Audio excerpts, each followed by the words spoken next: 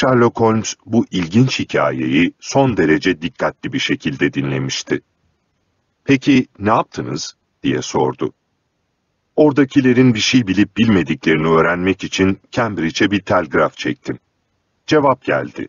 Godfrey'i kimse görmemiş. O saatte Cambridge'e dönmüş olma ihtimali var mı? Evet, geç saatte bir tren vardı. 11'i çeyrek geçe. Fakat şu ana kadar öğrendiklerinize göre o trene binmemiş. Evet, kimse görmemiş onu. Sonraki adımınız ne oldu? Lord Mount James'e bir telgraf yolladım. Neden? Godfrey yetimdir ve Lord Mount James de en yakın akrabasıdır. Bildiğim kadarıyla amcası. Öyle mi? Bu olaya yeni bir ışık tutuyor. Lord Mount James İngiltere'deki en zengin insanlardan biridir. Godfrey'in de öyle söylediğini duymuştum. İkisi yakın mıydı? Evet, Godfrey Lord'un varisi ve adam da 80'ine yakın. Üstelik gut hastası. Parmak boğumlarıyla bilardo istekasını tebeşirleyebildiğini söylüyorlar. Hayatı boyunca Godfrey'e tek bir kuruş vermemiştir. Çok cimridir. Ama sonunda her şey çocuğa kalacak. Lord Mount James'ten haber aldınız mı? Hayır. Arkadaşınızın ona gittiğini düşünmenize sebep olan nedir peki? Dün gece onu endişelendiren bir şey olduğu kesindi. Ve bu şey parayla ilgili ise en yakın akrabasının yanına gitmiş olması mümkün. Her ne kadar o cephede fazla şansının olmadığını düşünsem de. Godfrey yaşlı adamdan hoşlanmazdı. Başka çaresi olsa kesinlikle gitmeyeceğinden eminim. Peki, bunu yakında öğreniriz. Arkadaşınız gerçekten de akrabası Lord Mount James'in yanına gittiyse, geriye kaba görünüşlü adamın ziyaretini ve gelişinin yarattığı heyecanı açıklamak kalıyor. Cyril Overton başını ellerine gömdü. Bunlardan hiçbir şey çıkaramıyorum, dedi. Sakin ol, sakin ol. Önümde güneşli bir gün var ve olayı araştırmak beni memnun edecek, dedi Holmes. Bu genç beyefendinin gelmeyeceğini varsayarak maçınıza hazırlanmanızı öneririm.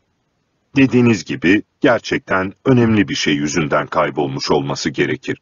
Ve aynı sebep onu bir süre daha uzak tutacaktır.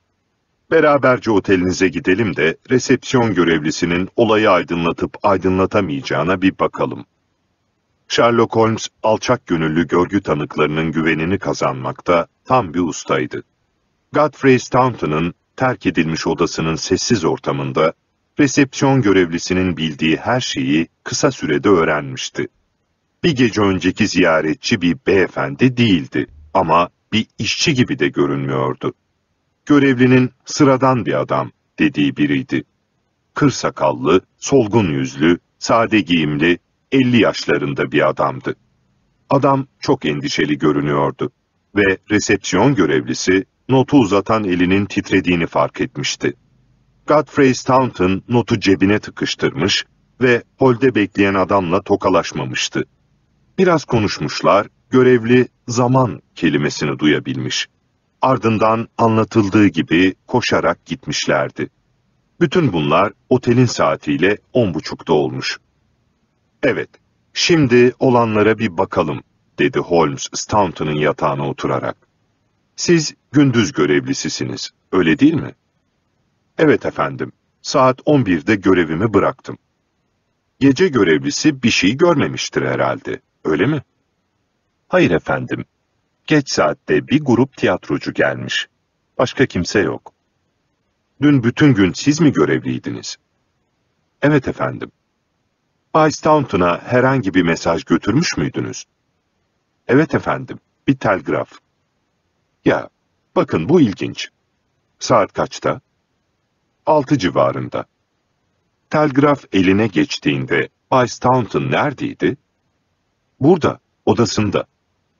Telgrafı okurken yanında mıydınız? Evet efendim, bir cevap yazdı. Cevabı siz mi götürdünüz? Hayır, kendisi götürdü. Sizin yanınızda yazdı cevabı, öyle mi? Evet efendim, ben kapının orada duruyordum ve o şuradaki masada sırtı bana dönük haldeydi. Yazmayı bitirdiği zaman, tamam, sen gidebilirsin.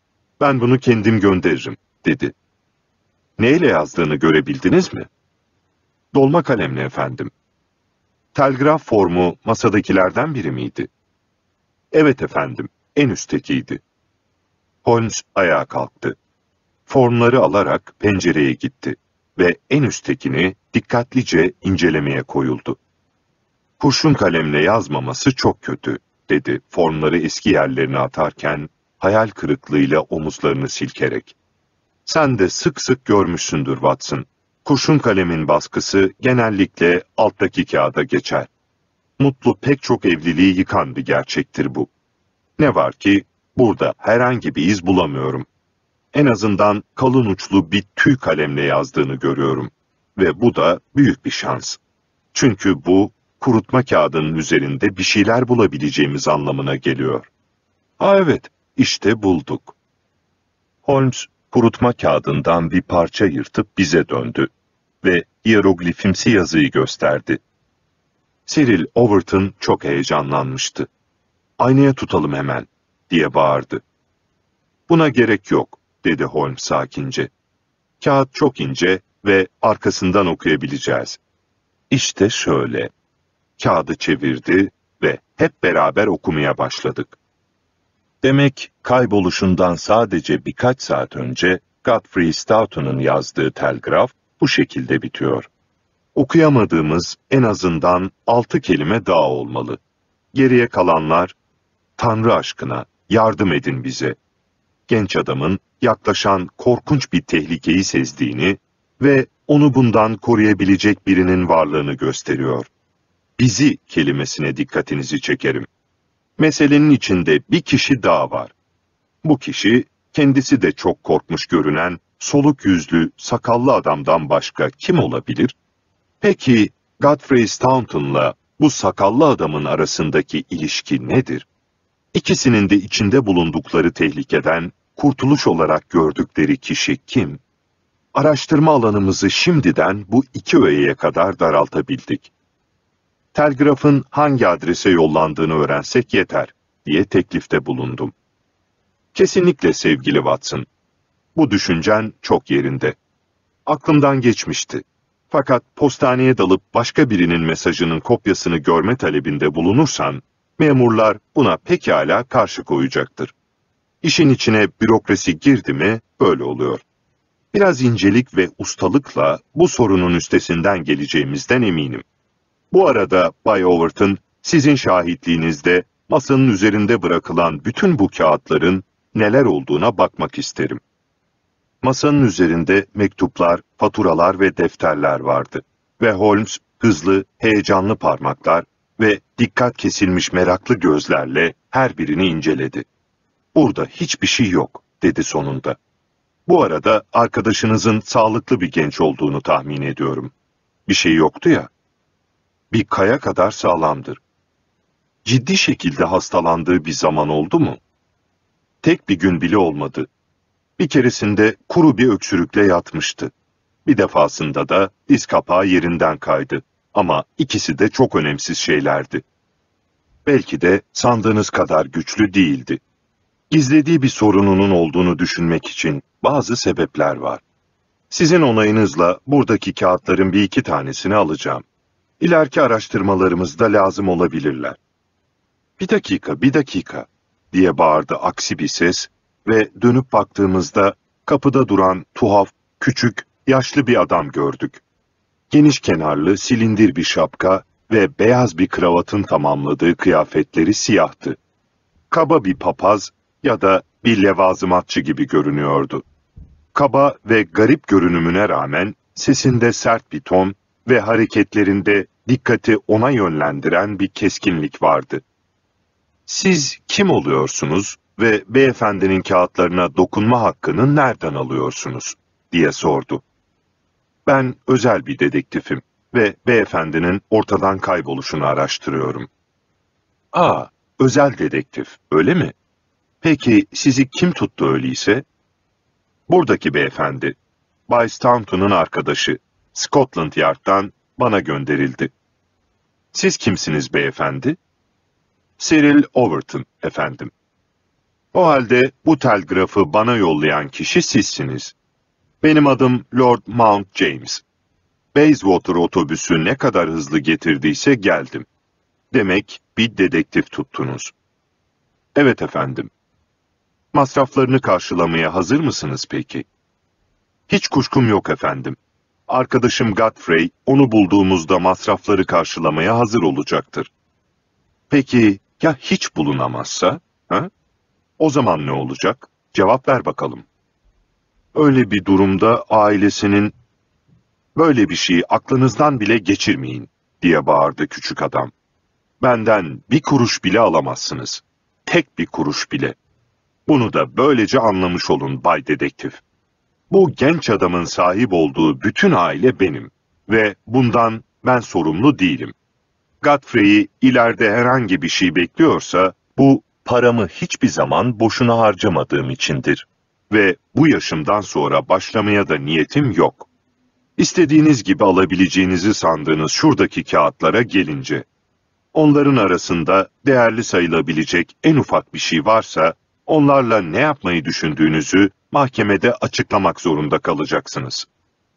Pekala efendim, dedi Sherlock Holmes. Bu arada bir şey sormama izin verin. Genç adamın kayboluşuyla ilgili kendinizce herhangi bir teori ürettiniz mi? Hayır efendim, üretmedim. O kendine bakabilecek yetişkin biri ve kendini kaybedecek kadar aptalca bir şey yaptıysa onun peşine düşme sorumluluğunu üstlenmeyi kesinlikle reddediyorum. Durumunuzu gayet iyi anlıyorum, dedi Holmes gözlerinde bir hinlikle. Ama siz benimkini tam olarak anlayamamış olabilirsiniz. Godfrey Staunton parasız bir hayat sürdürmüşe benziyor. Şayet kaçırıldıysa bunun nedeni kendisinin sahip olduğu bir şey olamaz. Sizin zenginliğinizse yurt dışında bile biliniyor Lord Mount James. Ve yeğeninizin özellikle sizin eviniz, alışkanlıklarınız ve hazinenizle ilgili bilgiler toplamak isteyen bir çete tarafından kaçırılmış olması çok mümkün. Nahoş ziyaretçimizin yüzü bir mendil kadar beyazlaştı. Tanrı bizi korusun efendim. Bu nasıl bir düşünce? Öyle korkunç bir şey aklıma gelmemişti hiç. İnsaniyetten yoksun ne dolandırıcılar var bu dünyada. Fakat Godfrey iyi bir çocuk, sadık bir insan. Dünyadaki hiçbir kuvvet onu amcasını ele vermeye zorlayamaz. Gümüşleri bu akşam bir bankaya aktaracağım. Bu arada Bay Dedektif, hiçbir şeyden kaçınmayın. Godfrey'i sağlam geri getirebilmek için her taşın altına bakmanız için size yalvarıyorum. Paraya gelince, şey bir beşlik hatta ve hatta bir onluk söz konusu olduğu sürece her zaman bana güvenebilirsiniz. Soylu cimrimiz sakinleştikten sonra bile bize yardım edebilecek herhangi bir şey söylemedi. Çünkü yeğeninin özel hayatıyla ilgili çok az bilgisi vardı. Tek ipucumuz yarım telgraftı ve Holmes bir kopyası elinde zincirine yeni bir halka ekleyebilmek için yola çıktı. Lord Mount James'ten kurtulmuştuk ve Overton başlarına gelen felaketi takımın diğer üyeleriyle konuşmaya gitmişti. Otele yakın mesafede bir telgraf ofisi bulduk. Önünde durduk. Denemeye değer Watson, dedi Holmes. Yasal bir yetkimiz olsa kopyaları kolaylıkla görebilirdik. Ama henüz o aşamaya gelmedik.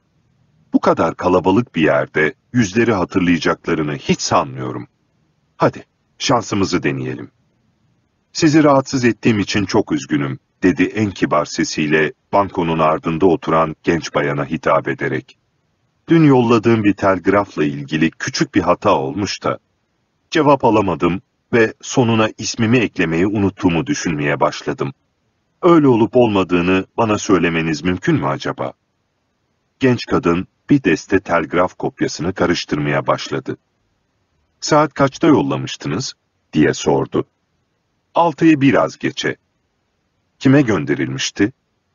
Holmes parmağını dudaklarına götürerek bana bir bakış fırlattı. Telgrafın sonundaki kelimeler Tanrı aşkına şeklindeydi diye fısıldadı. Bir sır verir gibi. Cevap alamamak canımı çok sıkıyor. Genç kadın formlardan birini desteden çekti. İşte burada. Altında isim yok, dedi kadın, kağıdı tezgahın üzerinde düzleştirerek. Evet, bu cevap alamamamın nedenini açıklıyor tabii, dedi Holmes. Olacak şey değil, ne kadar da aptalım, değil mi? İyi günler bayan, yardım ettiğiniz için çok teşekkür ederim. Yeniden sokağa çıktığımızda kendi kendine kıkırdayıp ellerini ovuşturuyordu. Ee, diye sordum. İlerliyoruz sevgili Watson, ilerliyoruz. O telgrafa bir göz atabilmek için yedi değişik planım vardı. İlk denememizde başarılı olacağımı hiç sanmıyordum doğrusu. Peki ne öğrendin? Araştırmamıza nereden başlamamız gerektiğini. Bir araba durdurdu. King's Cross istasyonuna, dedi sürücüye. Öyleyse bir yere gidiyoruz.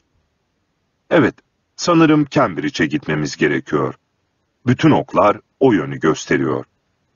Söylesene, diye sordum takırtılar eşliğinde Grazing Caddesi'nden yukarı çıkarken. Kayboluşun sebebine dair herhangi bir fikrin var mı? Şimdiye kadarki tüm vakalarda bundan daha belirsiz nedenler içeren hiçbirini hatırlayamıyorum.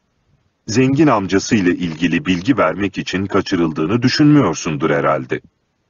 İtiraf etmeliyim ki Watson, öyle bir durumla karşı karşıya olduğumuzu hiç sanmıyorum. Sadece o inanılmaz derecede sinir bozucu yaşlı adamın ilgisini çekecek parlak bir fikir gibi gelmişti o anda. Başarılı olduğun kesin. Peki alternatiflerin neler? Birçok alternatif sunabilirim tabii. Kabul etmelisin ki olayın öylesine önemli bir maçtan hemen önceki gece gerçekleşmesi ve takımın kazanmasını sağlayacak vazgeçilmez unsurun başına gelmesi ilgi çekici ve düşündürücü bir gerçek. Elbette sadece tesadüf olma ihtimali de var ama yine de oldukça ilginç. Amatör sporlar bahislere açık değil ama halk arasında her zaman bahis döner ve bir oyuncunun ortadan kaldırılmasının birilerinin işine gelmesi pek mümkün. Yarış atlarının başına sık sık gelen bir şey bu. Evet, bu bir açıklama olabilir. İkinci ve yine oldukça olası bir alternatif de genç adamın gerçekten de büyük bir mal varlığının varisi olmasıyla ilgili. Her ne kadar şu anda çok basit bir hayat sürdürse de fidye için kaçırılmış olma ihtimalini göz ardı etmemek lazım. Bu teoriler telgraftaki bilgileri içermiyor. Çok doğru Watson. Telgraf elimizde bulunan tek sağlam şey ve ilgimizi onun üzerine yoğunlaştırmak zorundayız. Şimdi Cambridge'e gitme nedenimiz de bu telgrafın gönderilme sebebini araştırmaktır zaten. Araştırmamızın alacağı hal şimdilik belirsiz olabilir. Ama bu akşama kadar vakayı çözeceğimize, en azından bu yolda büyük bir ilerleme sağlayacağımıza dair inancımın tam olduğunu söyleyebilirim. Üniversite kentine ulaştığımızda hava kararmaya başlamıştı bile. Holmes istasyondan bir araba tuttu ve adama Doktor Leslie Armstrong'un evine gitmesini emretti. Birkaç dakika sonra çok kalabalık bir caddeye bakan büyük bir konağın önüne gelmiştik. İçeri davet edildik ve uzun bir bekleyişten sonra masasının arkasında oturmuş halde bizi bekleyen doktorun odasına kabul edildik. Leslie Armstrong ismini bilmemem, mesleğimden ne kadar uzaklaşmış olduğumu kanıtlıyordu.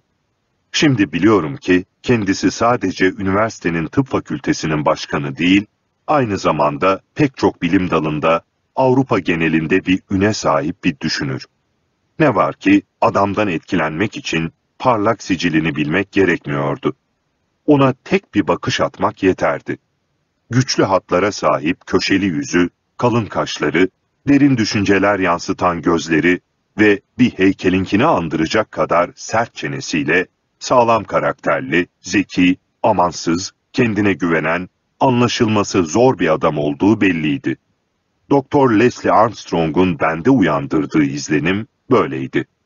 Dostumun kart vizitini tutuyordu elinde ve başını kaldırıp bize baktığında yüzünde memnun sayılabilecek bir ifade yoktu. İsminizi duydum Bay Sherlock Holmes ve mesleğinizin ne olduğunu biliyorum. Hiçbir şekilde onaylamadığım bir meslektir. Bu konuda doktor, ülkede bulunan her suçluyla hemfikir olduğunuzu biliyorsunuzdur, diye cevap verdi dostum sessizce. Çabalarınız suçlularla savaşmak olduğu sürece efendim, toplumda mantık sahibi her birey tarafından destek görmeniz kaçınılmazdır. Öte yandan bu doğrultuda çalışan resmi kuruluşlarımızın yeterli olduğundan en ufak bir kuşkum yok. Mesleğinizin eleştirilmesi gereken tarafları, insanların özel hayatlarına burnunuzu sokup sırlarını karıştırmanızda, saklı kalması daha hayırlı olan aile meselelerini yeniden su üstüne çıkarmanızda ve sizden daha meşgul olan kişilerin zamanını harcamanızda yatıyor. Söz gelimi, şu anda sizinle sohbet etmek yerine bir tez yazıyor olmalıydım. Buna hiç kuşkum yok doktor. Ne var ki konuşmamızın bir tezden daha önemli olduğu ortaya çıkabilir. Yeri gelmişken çok yerindeki suçlamalarınızın tam tersi doğrultuda çalıştığımızı, özel meselelerin duyulmaması için elimizden gelen her şeyi yaptığımızı söyleyebilirim. Söylediğinizin tersine bir dava polisinin eline düştüğünüzde kaçınılmaz olarak gerçekleşen şey budur. Dilerseniz ülkenin düzenli kuruluşlarının önünde ilerleyen düzensiz bir akıncı olarak değerlendirebilirsiniz beni. Buraya Bay Godfrey Staunton'la ilgili bilgi almaya geldim. Ne olmuş ona? Onu tanıyorsunuz, değil mi? Çok takdir ettiğim bir delikanlıdır kendisi. Ortadan kaybolduğunu biliyor musunuz peki? Ah, gerçekten mi? Doktorun sert hatlarında en ufak bir değişiklik olmamıştı. Dün gece otelinden çıkıp gitmiş. O zamandan beri hiç haber alınamadı. Geri dönecektir. Üniversite futbol maçı yarın oynanacak. Bu çocuksu oyunlarla hiç ilgilenmiyorum. Genç adamın kaderi benim için son derece önemli olabilir. Çünkü onu severim. Futbol maçıysa tamamıyla ilgi alanımın dışında. O halde Bay Staunton'ın kaderiyle ilgili araştırmalarımla ilgilenmenizi rica etmek zorundayım. Genç adamın nerede olduğunu biliyor musunuz? Tabii ki bilmiyorum. Dün kendisini gördünüz mü peki? Hayır görmedim. Bay Staunton sağlıklı sayılabilecek biri miydi?